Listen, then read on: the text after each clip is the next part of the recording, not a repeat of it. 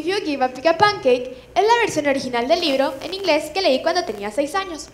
Esta historia parece ser la que muchas veces los adultos temen que se repita con los niños, y es acerca de dar a los niños. Si les das una pulgada, ellos van a querer un metro, y si les das un metro, van a querer un kilómetro. Ahora quiero que veamos un video.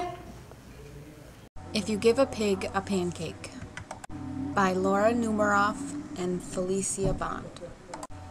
If you give a pig a pancake, she'll want some syrup to go with it. You'll give her some of your favorite maple syrup. She'll probably get all sticky, so she'll want to take a bath. She'll ask you for some bubbles. When you give her the bubbles, she'll probably ask you for a toy. You'll have to find your rubber duck. The duck will remind her of the farm where she was born. She might feel homesick and want to visit her family. She'll want you to come too. She'll look through your closet for a suitcase. Then she'll look under your bed. When she's under the bed, she'll find your old tap shoes. She'll try them on. She'll probably need something special to wear with them. When she's all dressed, she'll ask for some music. You'll play your very best piano piece, and she'll start dancing. Then she'll want you to take her picture. So you'll have to get your camera. When she sees the picture, she'll ask you to take more. Then she'll want to send one to each of her friends.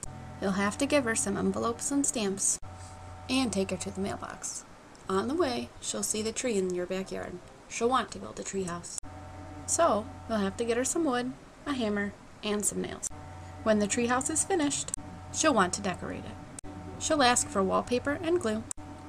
When she hangs up the wallpaper, she'll get all sticky. Feeling sticky will remind her of her favorite maple syrup. She'll probably ask you for some. And chances are, if she asks you for some syrup, she'll want a pancake to go with it.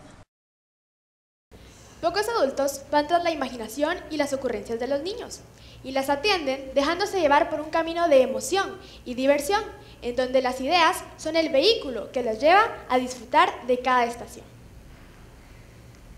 Los padres quieren proteger a sus hijos, pero se pierden cuando guiarlos y protegerlos significa que deben renunciar a sus sueños, que deben poner un alto a esas cabecitas que cada día generan más y más ideas y que deben encerrarlos en el espacio que los adultos han preparado y que deben pasar sus mejores años encerrados en ese espacio, que puede significar el estudio, la escuela, el colegio, la casa y muchas veces ese encierro también puede ser la televisión, el Wii, entre otros. Pero esta rutina solo genera un temor por querer pensar, querer hacer algo nuevo, algo diferente. Y más que eso, he pensado que lo que los adultos temen es lo que dar más de eso puede llegar a significar. Y es justo de eso de lo que les quiero hablar, de todo lo que puede pasar if you give a pig a pancake. Pero ojo, no estoy diciendo que los niños sean unos cerditos. Esto solo es una comparación en relación a la historia. Después de algunos años acompañando a mis padres a algunas visitas y jornadas médicas, especialmente en el área rural, supe que debía hacer algo para convencer a las personas de que si seguían actuando mal y acabando con la naturaleza, realmente ya no íbamos a tener naturaleza y que si seguían dañándola se iba a acabar. Esto no solo era en el área rural, esto también era en la ciudad y muy cerca de mí, incluso en mi colonia. Entonces dije, bueno, en mi colonia es un buen lugar para empezar, ¿por qué no empezar ahí? Cuando le dije a mi mamá de mi, de mi idea, fue suficiente su respuesta para saber qué podría hacer. Mi mamá llegó y yo le dije, mira, esto es lo que quiero hacer. Y me dijo, ¿qué quieres hacer? Entonces, le dije que quería árboles para plantar y una bocina para que me pudieran escuchar. Cuando somos niños, siempre queremos hacer algo, queremos hacer cosas, queremos llamar la atención y queremos demostrar que realmente podemos, pero lo más importante es que queremos hacerlo ahora, en el momento. Y no podemos esperar a ser grandes, queremos hacerlo ahora. Y nos aferramos tanto a eso que queremos hacer. Entonces un día mi mamá llegó, cuando menos lo esperaba, y me dijo, bueno, aquí están tus árboles y aquí está tu bocina. Esta vez me recuerdo que plantamos más de 100 árboles y me escucharon más de 100 personas. Cuando ya tenía los árboles ahí, ya tenía la bocina, no me pude poner a pensar en si podría o no hacerlo. ¿Será que puedo o no? Porque, o sea, la opción no puedo no existía para mí.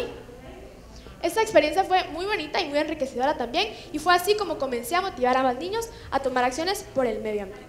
Luego le dije a mi mamá, eh, quiero seguir sembrando árboles, quiero motivar a más niños y quiero hacerlo en mi colegio. Y mamá me dijo, bueno, si quieres hacerlo, entonces solo hazlo. Dile a la maestra, a la directora y hazlo. Y fue así como comencé en el colegio. Le decía, mira mami, voy a ir con la Miss y le diré así. ella me escuchaba y aprobaba mis pequeños discursos. Entonces fue así como comencé a convencer a los niños de tomar acciones para el medio ambiente y sobre todo de sembrar árboles. Entonces iba a los lugares, algunas escuelas, algunos colegios también, ¿verdad? A hablarles a los niños de concientización y no solo decirles, miren, siembren árboles. ¿Y por qué, verdad? Sino que ellos realmente estuvieran convencidos y estuvieran motivados de lo que tenían que hacer. Pero esto, después me comencé a interesar realmente por todo lo que era el tema del medio ambiente. Y esto tomó bastante tiempo, ya no solo era tiempo en, ah, voy a ir a dar una charla a algún lugar, sino tiempo en prepararme para saber todo lo que tenía que decir, tiempo en capacitarme, tiempo para ir a los, a los lugares, ¿verdad? Y esto también eh, significó tiempo de mis padres, ellos me tenían que llevar a algunos lugares, a veces faltaba al colegio, pedía permisos para ir a algunas conferencias, para capacitarme y saber más acerca de este tema, para no hablar cualquier cosa, sino realmente estar empapada del tema. Después, conocí de una convocatoria de Naciones Unidas para los niños que hacían algo por el medio ambiente. Y entonces ya trabajaba yo la idea de sembrar árboles. Y luego le dije a mi mamá, mami, mira, yo quiero realmente participar y hacer algo y que Guatemala esté en esta conferencia. Entonces tomó tiempo de mi mamá también para enviar, fotografías, enviar material, lo que el proyecto lo que la idea significaba, y enviarla a Naciones Unidas.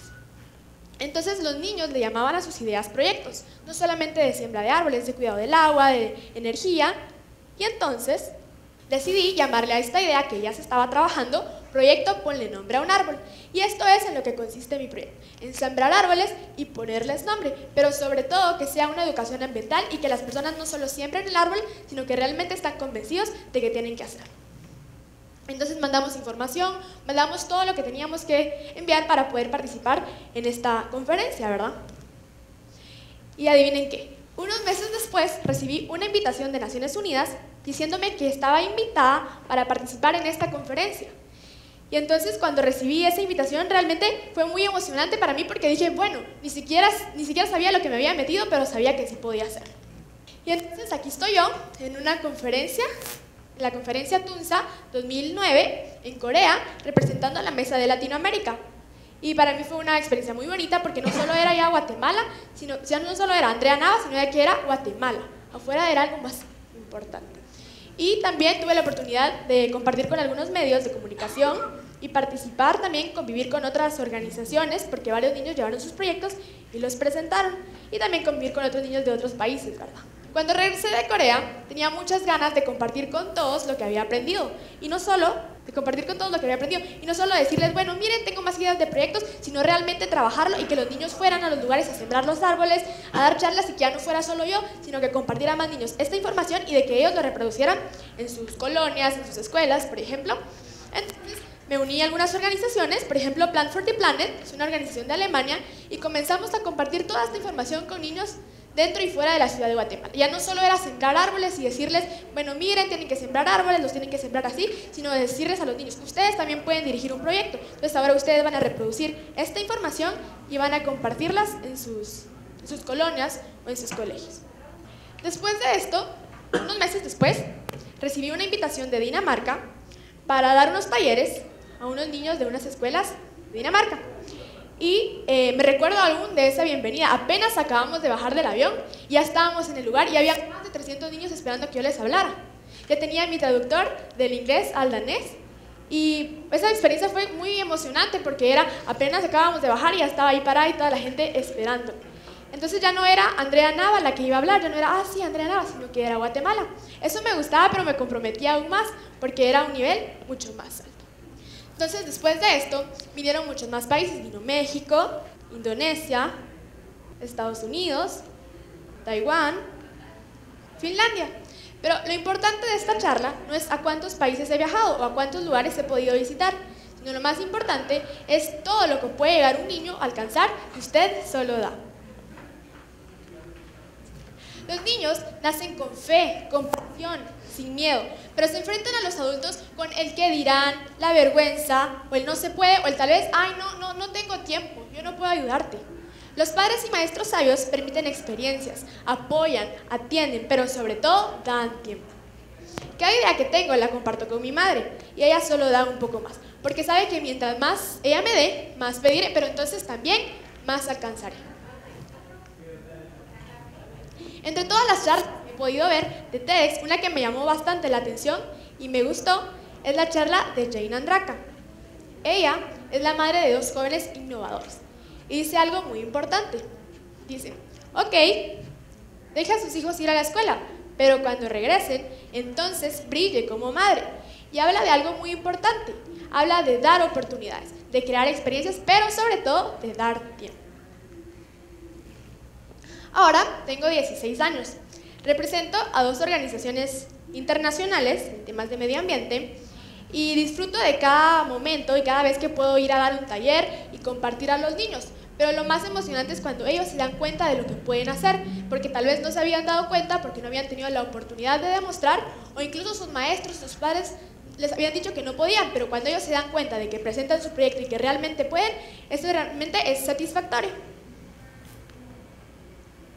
Ahora les quiero compartir una experiencia muy bonita. Una vez estaba en un lugar, algo lejos de la ciudad, y estaba motivando a los niños a crear sus propios proyectos, a, que escribieran sus ideas y que plasmaran lo que querían, ¿verdad? Y que después lo presentaran.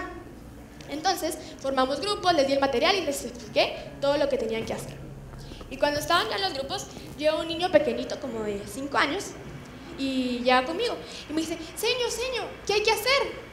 Yo le dije, bueno, tienen que escribir sus ideas y cuáles son lo, qué es lo que quieren hacer para su proyecto.